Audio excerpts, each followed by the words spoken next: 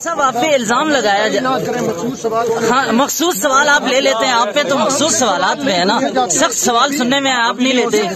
सख्त सवाल एक सवाल का दे दें सर एक।